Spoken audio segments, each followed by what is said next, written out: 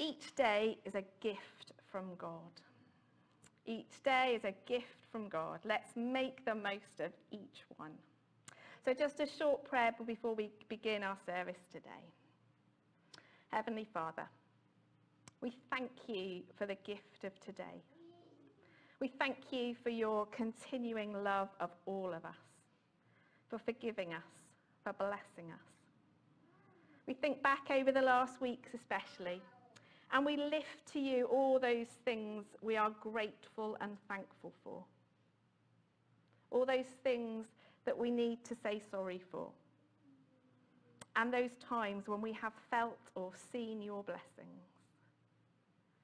We join together this morning, united as part of your church, connected through the Holy Spirit to lift our worship and praise to you.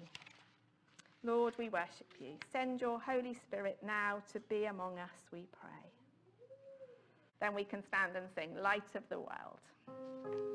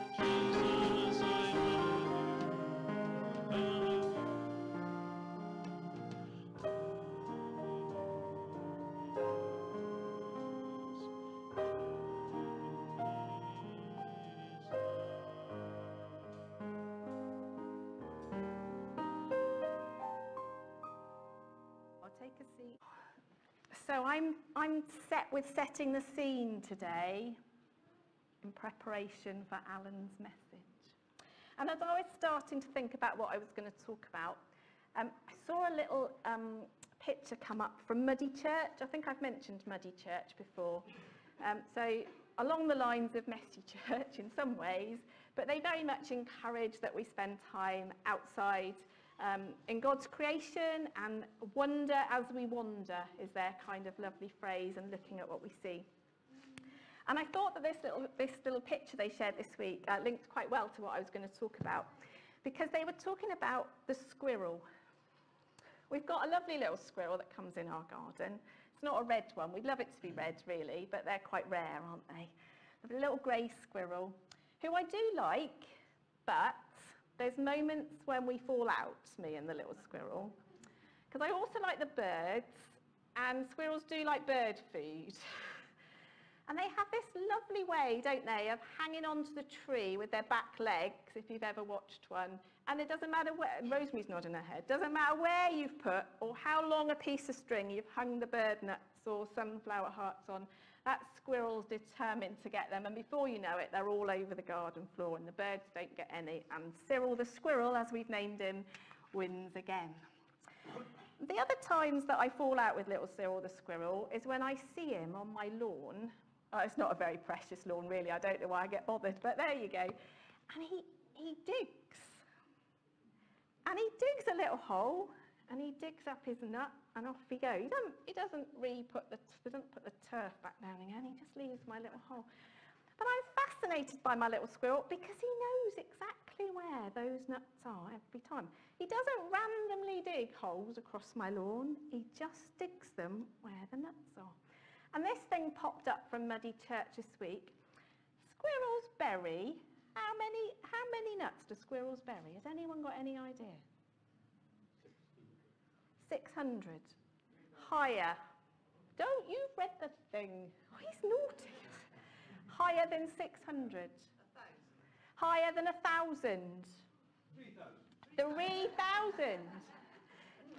there's some help going on behind me, I know.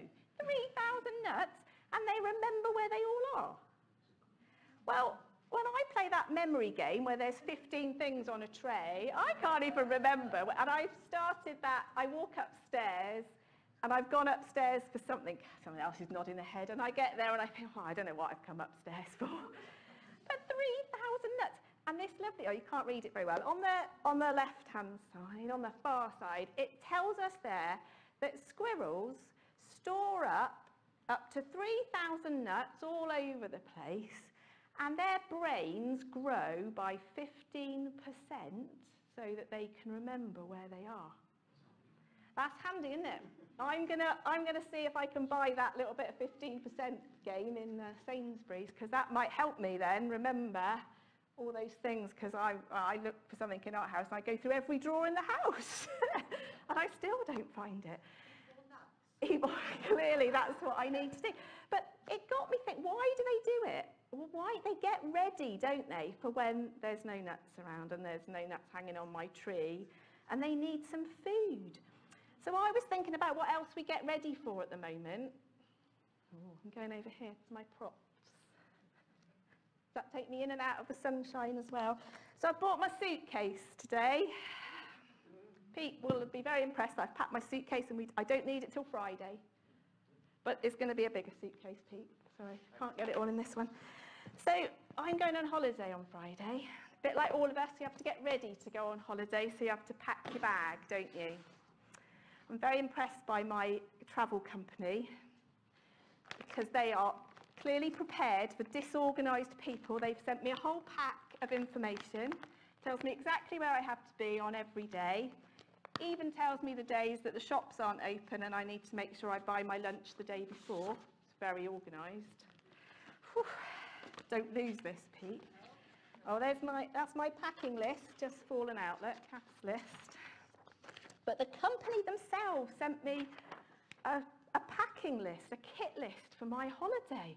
Sue's shaking her head at the back. I know. But it really does make sure that I'm ready for every eventuality on my holiday. So I'm going to share with you a few of the things. So I've got to take, I've got to take shorts for the sunny days, but I've got to take long trousers for the not so sunny days. Well, that makes sense. I've got to take t-shirts, but I've got to take fleeces. Now, why do I need a fleece? Look, look at this sunshine. Why? Scotland. It's Scotland. I need a fleece because it's Scotland. I need to take my sun hat because obviously it's going to be sunny. And I've got somewhere in here, I'm sure. Oh, yeah, look, Chris, Avon, because Chris is an Avon rep. I've got my Avon sun cream. Comes recommended, but there are other brands of sun cream that you can purchase. But I've also got to take my woolly hat. It's a good woolly hat. And my thick winter gloves. Why am I, look at this weather. Why, uh, it's, I've got to take, it's not rained and we're in drought conditions, but I've got to take my water, I haven't put my waterproof coat in, Pete. I haven't finished my packing, clearly.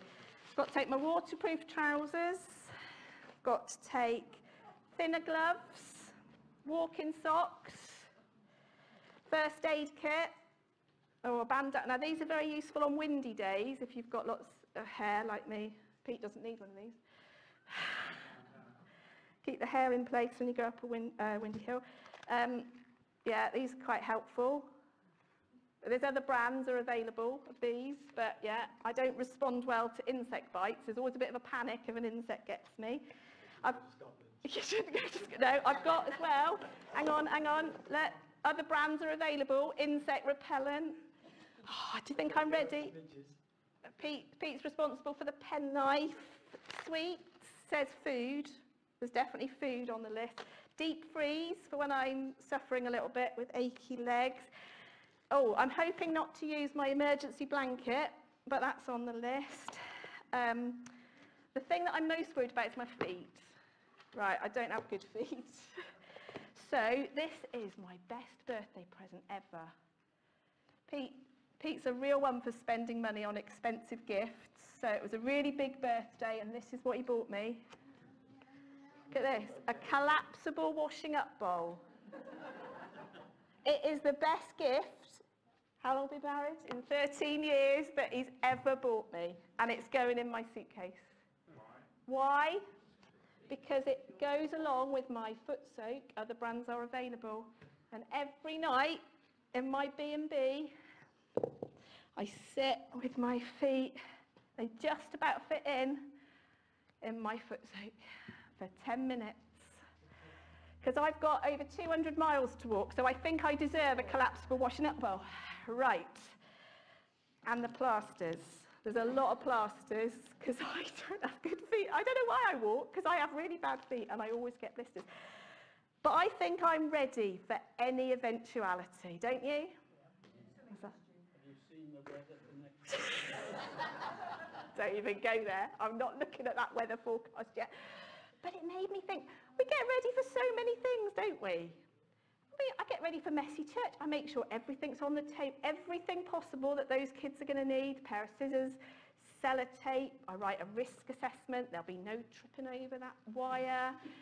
What else do we get? We get ready for Christmas. Oh, I mustn't talk about Christmas. It's only August. we get, we get ready for so many things, and we're always thinking about what might go wrong, aren't we? We're always thinking about, well, what if that happens? Well, I'll do that. What if this happened? Well, I'll do that. Got it all covered. But what about in our Christian lives? Do we get ready for every eventuality when, as Christians? We often, well, someone's nodding their head, well done. We often talk in our home group. Now, my home group are here today, so they'll tell me that if I'm not. We often say, well, I'm not quite ready for that question if someone at work asks me that question. And what would I say if someone asked me that? Well, no, I'll, I'll not tell them I'm a Christian, because Helen doesn't, obviously, because Helen's top student in our home group. But you often think, don't you, what if I'm not ready for that question? I'm not ready to answer that. Well, what do we do? What are we going to, I'm going to need a big suitcase to have every answer to every question. What do we do? But then getting together like this on a Sunday is part of our preparation, isn't it? For going back out to talk to other people. And there's one thing that snuck in the that I've not told you that's in my rucks, my suitcase. I will need a bigger suitcase though, Pete. I'm sorry. No. Hey. There's one thing in my suitcase that I've not mentioned yet. Oh, look. The Bible. It's got all the answers, so I don't really need a big suitcase, do I, to walk around with a big rucksack on my back. What I need to make sure I'm doing is reading my Bible. Oh, I've got it the right way up. Look, it's not even upside down. Reading my Bible and making sure that I'm praying and talking to God when I need to. And when things are happening and I need to prepare, I don't need to worry so much about the list of all the things that it says I need, although I'm going to make sure that there's fly spray. and I'm going to make sure there's lots of plasters. And my collapsible washing up bowl is definitely going on holiday with me. And rather a lot of other things, I think, to keep me going. But one thing I'm going to make sure is there, and it needs to be in our lives every day to make sure we're ready for the day, is that prayer time as well, and spending time with God. And maybe that's what I need to put at the top of my kit list, not all those other things that are on that list that whilst are really important for day-to-day stuff, we need to concentrate on what's important as well and remember that God will be with us and he will prepare us. He'll be with us when we need to answer some of those questions that we think we're not ready for. I'm hoping that sets the scene a little bit for Alan's message. If not, Alan, you need to change your message. Okay? oh, let's just say a short prayer before we sing uh, our next worship song this morning. So, Heavenly Father, we thank you that you are always with us. I thank you that whatever's going on in my life, I can turn to you, Lord, and you can help to prepare me. And I don't need to worry sometimes about all those nitty gritty bits of detail. I just need to remember to spend time with you and to read your word, Lord. In your name, amen. Come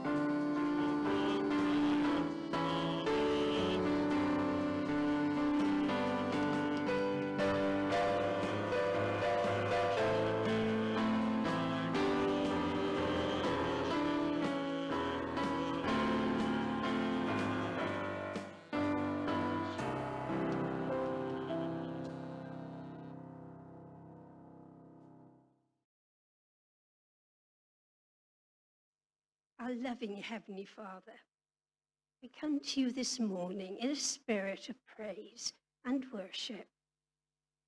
And we thank you for all the blessings we receive each day. But we're also mindful that there are many people around this world who are also in need of our prayers. We think of this awful conflict in Ukraine, and we pray for those who are fighting, and for those who are sheltering from bombing, for those who have lost their homes and are separated from their families, those living in other countries, including our area. We pray for the work of the Baptist Mission, distributing Bibles, and we pray for all those aid agencies who are trying to help. We pray for our own people who are, who are traveling to distribute aid and to take big equipment to the front.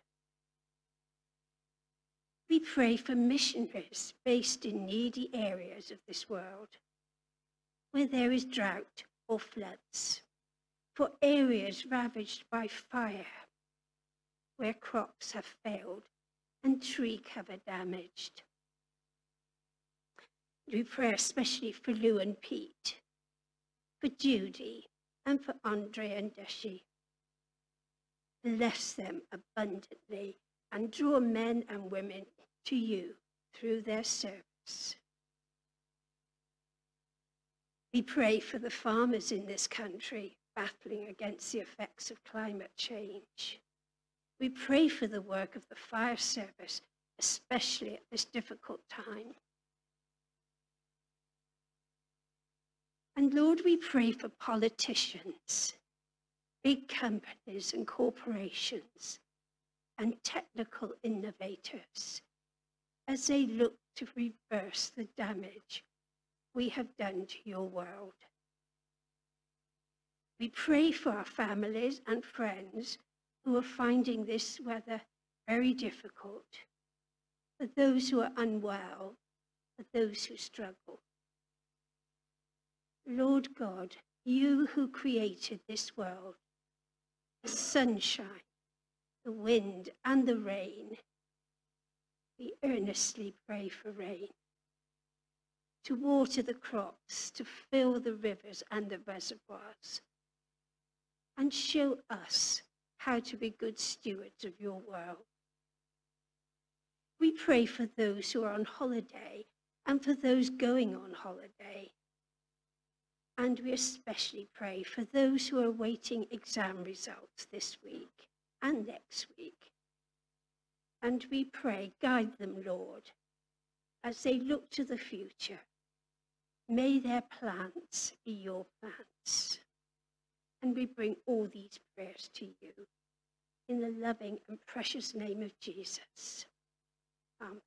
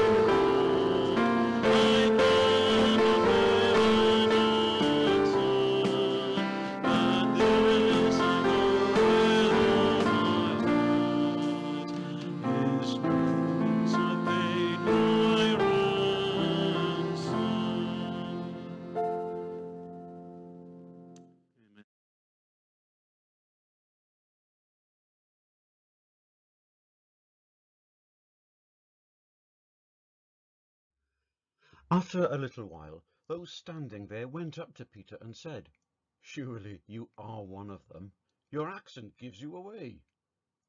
Then he began to call down curses, and he swore to them, I don't know the man.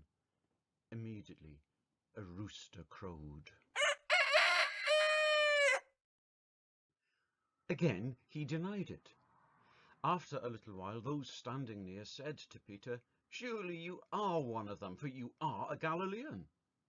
He began to call down curses, and he swore to them, I don't know this man you're talking about. Immediately the rooster crowed. Peter replied, Man, I don't know what you're talking about. Just as he was speaking, the rooster crowed. The Lord turned and looked straight at Peter. Then Peter remembered the word the Lord had spoken to him. Before the rooster crows today, you will disown me three times. And he went outside and wept bitterly.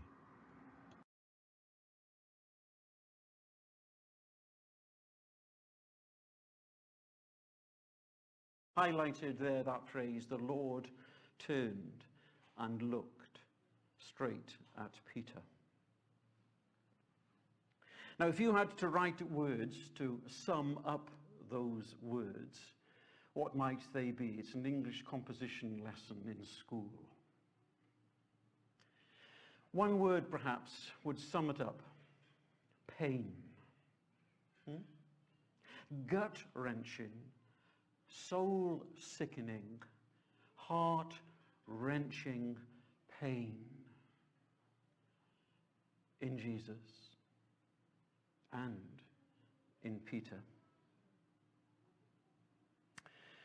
We're continuing to follow the journey of Simon Peter, the rough and ready Galilean fisherman who was called by Jesus to follow him.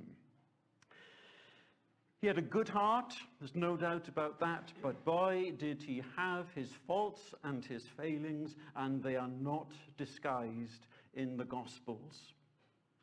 Simon Peter could be brash, he could be volatile, he could be unpredictable. Do you know anybody like that? Oh, no, some, yeah, elbows are going. He often spoke without first engaging his brain. And he didn't always live up to his own extravagant claims. His perceptions of himself and what he was capable of were, to say the least, exaggerated, and never more so than in this sad story. He should have been prepared. Let me remind you, Jesus told them this very night, you will all fall away on account of me. For it is written, I will strike the shepherd, and the sheep of the flock will be scattered. But after I have risen, I will go ahead of you into Galilee. Now here's Peter. Even if all fall away on account of you, I never will. Truly I tell you, Jesus answered, this very night, before the rooster crows, you will disown me three times. But Peter declared, even if I have to die with you, I will never disown you. And all the other disciples said the same. Well, of course, just a few hours later, those words came back to haunt Peter. As we look at the four Gospels, we realize it was a chilly night in spring. Apparently, Jerusalem, even within the city, can get quite cold at night in that season of the year. And inside the courtyard of Annas and Caiaphas, who sort of between them were high priests, there's a, a fire. John's Gospel adds the little touch that it was a charcoal fire, which is preparing us for a few chapters later when the risen Christ prepared another charcoal filler, filler? fire. and asked Peter three times, Do you love me? In the scene, we find Peter edging closer to the open fire, and its flickering flames and its light must have revealed his face. And his northern accent betrayed the fact that he was from Galilee. And so he was challenged on more than one occasion to own up to his connection with Jesus. And we've seen from those references that defiantly he shouted, I don't even know the man.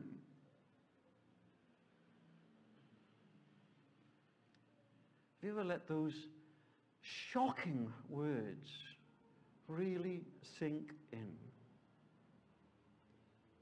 This is a hardcore lie from the very disciple who declared Jesus to be the Messiah, the Son of the living God. The disciple who had boasted that he would follow Jesus anywhere. A disciple who had insisted that he was willing to give everything for Jesus, including his life. I don't know the man. And the Gospels cover over the expletives that he then used as he denied knowing Jesus of Nazareth. Then, of course, the rooster crowed. And Jesus turned and looked straight at Peter.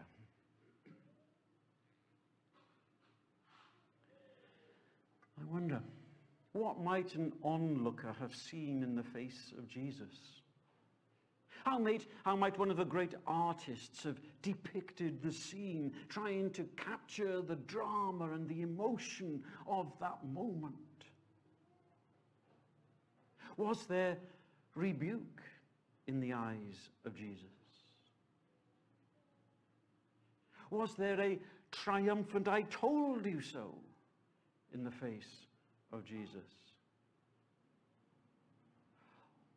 Was it condemnation, as in, that's it, we're through? The answer to above all three, I think, is no. You see, apparently, the word translated in our Bibles looked when Jesus turned and looked at Jesus. It's a word that's usually associated with looking with interest, looking with concern, looking even with love. Uh, for example, we see it in the story of the rich young ruler. It's the same word. Jesus looked at him and what? And loved him. One thing you lack, he said. Go, sell everything you have and give to the poor, and you will have treasure in heaven. Then come, follow me. How an artist would capture that turning of Jesus, that looking at Peter and convey love with the artist's brush, I've no idea. I'd be hopeless at it. But there's something of the gospel even in the way Jesus looked at his disciple Peter.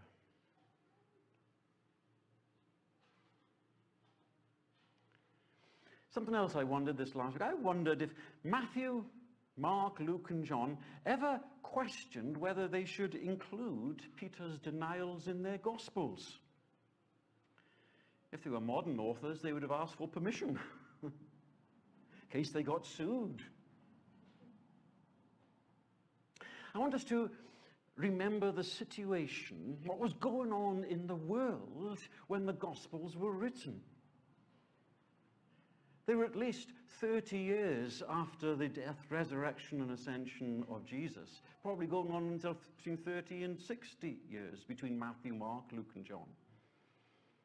And they were written probably because they realized that the apostles were dying off and they needed to have a written account of all the stories that were circulating amongst the churches of what Jesus has said and done. And so they went to the apostles and asked them.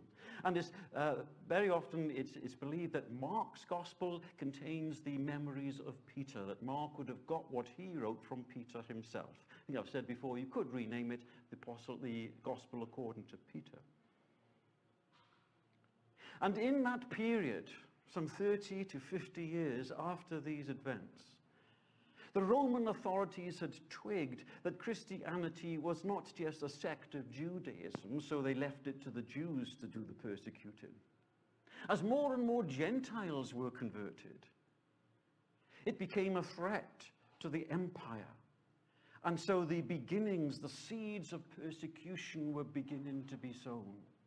And the pressure was on Christians who, when the persecution was off, now to give up their faith. The persecutions saying, you must deny your faith if this, that, or the other, or look out.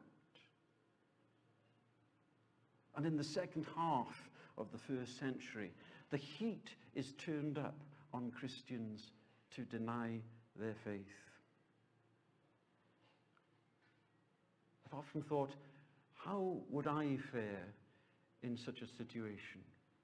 I'm always humbled whenever I read or we see a presentation of brothers and sisters around the world who are routinely persecuted for their faith today. I remember being shocked when I read that in the 20th century, more Christians had died for their faith than in all the previous centuries put together. Persecution is not a thing of the past. And it is still with us today. Here in this country, we, if we count our blessings, although the tide seems to be turning against evangelical biblical faith, we didn't come here this morning afraid that somebody would walk in with a submachine gun and shoot us all.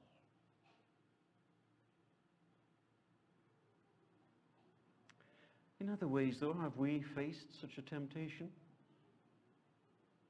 But you see, in that context, in the first century, retelling the story of Peter's forceful denials in each of the four Gospels wasn't a case of wanting to embarrass Peter. Rather, you could draw the conclusion, if Peter, the great apostle, who on the day of Pentecost was the rock upon which Jesus started to build his church, when he preached that day in the power of the Spirit and 3,000 plus people were converted and baptized, if he could fall so low and yet still be restored and used of God to build his church, then surely there was hope for anyone who had succumbed to the pressure to deny their faith. There was a way back. If Peter had a way back, anybody could have a way back. So I suspect that had Peter been asked for permission to include this rather embarrassing story, he might well have insisted that it be included. Given that so many of his brothers and sisters, by the time this gospel was written, were facing the kosh because they loved Jesus. Some may well have done, by the time they read it, what Peter had done. Can you imagine an early Christian having succumbed to this pressure to deny their faith, to call down curses upon themselves and say, I am not a Christian, I don't know this Jesus of Nazareth that you were talking about. And then they come in broken-hearted repentance. Can you imagine now, for the first time, hearing this story of Peter being read? They would have listened perhaps with bated breath. Peter did. Knowing that he had been restored, renewed. And so then they would be able to dismiss the lie of the devil that was being whispered in their ear that there was no way back, when there was a way back. And the Lord would welcome them with open arms and through them again build his church. A similar principle is at work in the story of Saul of Tarsus, the great apostle Paul. Right into Timothy, he says this Here is a trustworthy saying that deserves full acceptance. Christ Jesus came into the world to save sinners, of whom I am the worst. He was a self righteous prig. and Jesus' harshest words were for the self righteous, not for sinners. If you were a self righteous Pharisee, you were the worst of sinners. But for that very reason, Paul says, I was shown mercy so that in me, the worst of sinners, Christ Jesus might display his immense patience as an example for those who would believe in him and receive eternal life. In other words, what Paul is saying is, if God can save me of all people, he can save anybody. If his grace can wash away my sin, not only the sins of all that filthy self-righteousness, but the sin of persecuting the body of Christ, the sin of taking Christians, it all starts there, you know, with Stephen, when a young man named Saul is looking after the cloaks, and then Saul is fired up, and of course he was on his way to Damascus with the authority written in his hand to persecute Christians whoever he could find. And we know the story, how the risen Lord knocked him off his high horse. Saul, Saul, why do you persecute me? I wonder how long the pause was before Saul of Tarsus said, Who are you, Lord? I am Jesus, whom you are persecuting. And so he says, if, the, if God can turn me around, he can turn anyone around. And people reading the Gospels and perhaps being shocked at the story of Peter, of all people. Wow, if there was hope for him, then please God, there is hope for me. Have you ever heard the devil whisper this lie in your ear? That's one time too many. God is through with you. Do not believe that lie. Jesus said, if you will know the truth and the truth will set you free, but if you believe a lie, it will imprison you. Don't believe his lies. Believe the truth of the gospel. Believe the truth of this message. There is a way back in the amazing, over the top, ridiculously extravagant grace of our God.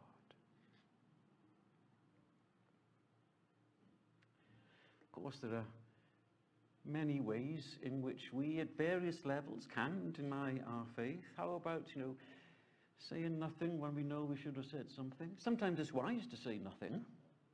Don't get me wrong. But I can think of times when I should have said something and I've said nothing. I remember well as a teenage Christian walking home on a Saturday night um, from a church the other side of the valley from where I lived. I was all fired up, full of the Lord and willing to witness to anybody. Bring them on, Lord. So the Lord did, and I bottled it. You see, there was this older man coming out of a club walking along Gethley Wastard Road. I could take you to the spot now in my hometown of Pontypridd. And as we got closer, the Lord said to him, witness to that man. He was a bit big and he'd obviously had a few beers. We got closer. Alan witnessed to that man. We were that close. I let him walk past. I felt the Lord say, Turn round, go and speak to him. I carried on walking. I never did speak to him. Whenever I think of that, I pray, Lord, I hope you sent somebody else to talk to him. And I'm sorry I messed it up. I'm so sorry I bottled it. What if the Lord had said to me on that day, Alan, I've called you to the ministry, that's it, I've changed my mind. But no. We can deny him by keeping silent. We can deny him by just going with the flow, can't we? No, I've done that as well. Go with the flow. I remember as a young Christian in school, nobody would have known that I was a Christian. I was a weekend Christian. But with the boys, I was just one of the boys. And when some of them were converted and I told them I was a Christian, they wouldn't believe me. And I'm not surprised. I was going with the flow, denying by my behavior and my language that I knew and loved the Lord, which I did. We can deny our Lord by being hypocritical. There are so many ways in which we, we do, we let the Lord down. Isn't it great that He is the God of all grace? Yes. Yes.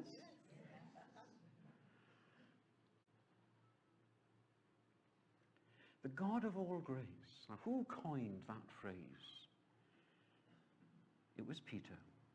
Here are the words on the screen. And the God of all grace, who called you to his eternal glory in Christ after you have suffered a little while, then that last phrase, will himself restore you. Peter had been restored and make you strong. Peter had been made strong, firm and steadfast. This is the apostle saying this, writing these words, who had denied with expletive language three times that he even knew Jesus.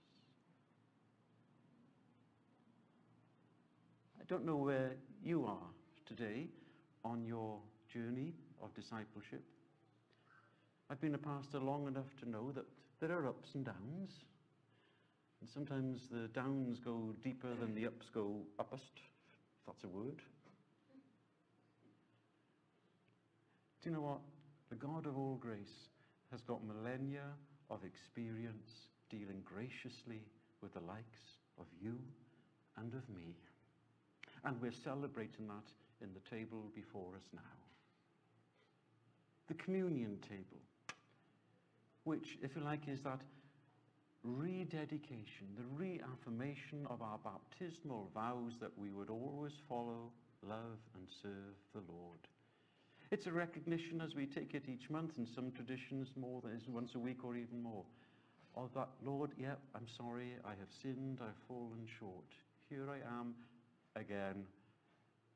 And our Lord embraces us in his love and in his grace. And so, anticipating the message in a couple of weeks' time when we look at that occasion when uh, Jesus prepared the scene and set the breakfast and asked Peter pointedly three times, Do you love me? Here is the grace that lay behind our Lord's restoration of Peter. And being forewarned is forearmed. Well, didn't work for Peter on that night, did it? So let me just say this. Might it be that this morning, through this message, the Lord is forewarning us that we might face a test in this coming week of our allegiance to Jesus? Let's pray. Heavenly Father, for all those times when we've bottled it and got it so horribly wrong, for all those times when we say, yep, Lord, we're with Peter in some way, shape, or form. Lord, forgive us. And thank you, thank you, thank you that you are the forgiving God. You are the God of all and abundant grace. Strengthen us strong in you and in your mighty power. And in this coming week, just as Kath and Pete pack their bags in readiness for anything that the weather might throw at them, will you pack our spiritual bags so that we are ready for whatever the world might throw at us?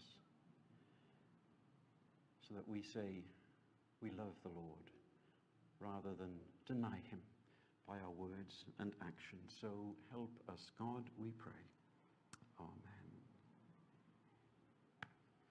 So just a time of prayer then before we all share communion together.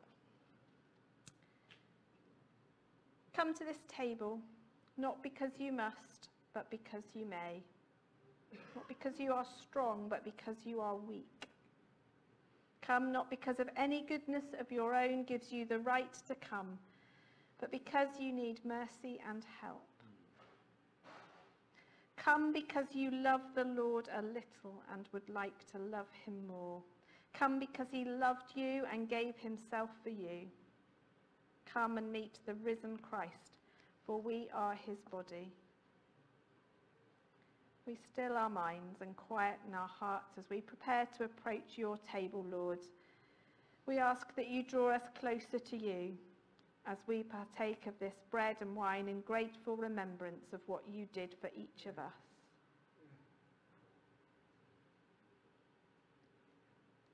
One Corinthians 11 reads, For I received from the Lord what I also handed on to you that the Lord Jesus, on the night that he was betrayed, took a loaf of bread. And when he had given thanks, he broke it.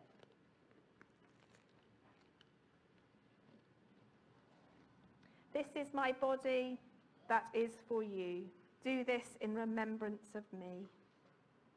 In the same way, he also took the cup after supper, saying, This cup is the new covenant in my blood. Do this as often as you drink it in remembrance of me. For as often as you eat this bread and drink the cup, you proclaim the Lord's death until he comes. Loving God, we praise and thank you for your love shown to us in Jesus Christ. We thank you for his life and ministry announcing the good news of your kingdom and showing us its power by lifting up the downtrodden healing the sick and loving the loveless. We thank you for his death upon the cross, for the redemption of the world, and for raising him to life again as a foretaste of the glory we shall all share. We give you thanks for this bread and wine, symbols of our world and signs of your transforming love. Send your Holy Spirit, we pray, that we may be renewed into the likeness of Jesus Christ and formed into his body. We pray in his name and for his sake. Amen.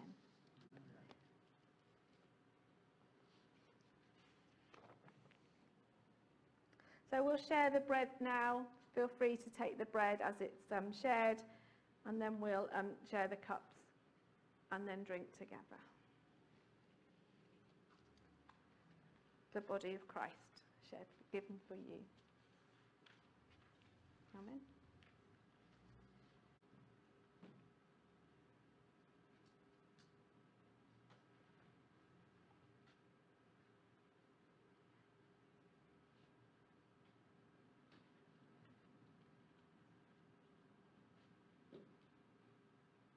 In the same way, he took the cup after supper and said, This cup is the new covenant sealed by my blood.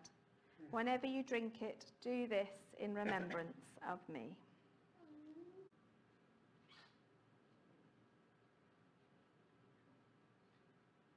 Whenever you drink it, do this in remembrance of me.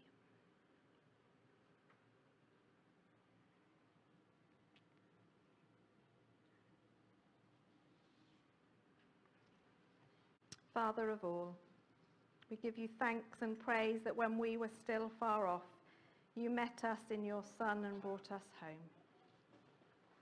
Dying and living, he declared your love, gave us grace, and opened the gate of glory. May we who share Christ's body live his risen life. We who drink his cup bring life to others we whom the Spirit lights give light to the world. Keep us firm in the hope you have set before us, so we and all your children shall be free, and the whole earth live to praise your name. Through Christ our Lord. Amen. We're going to sing our final hymn. I cast my mind to Calvary.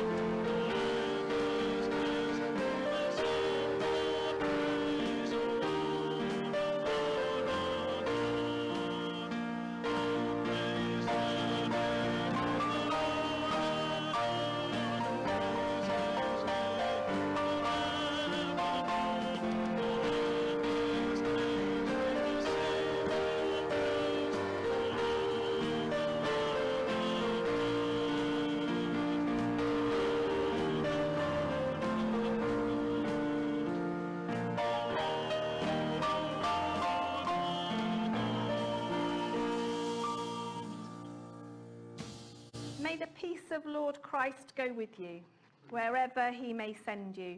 May he guide you through the wilderness, protect you through the storm.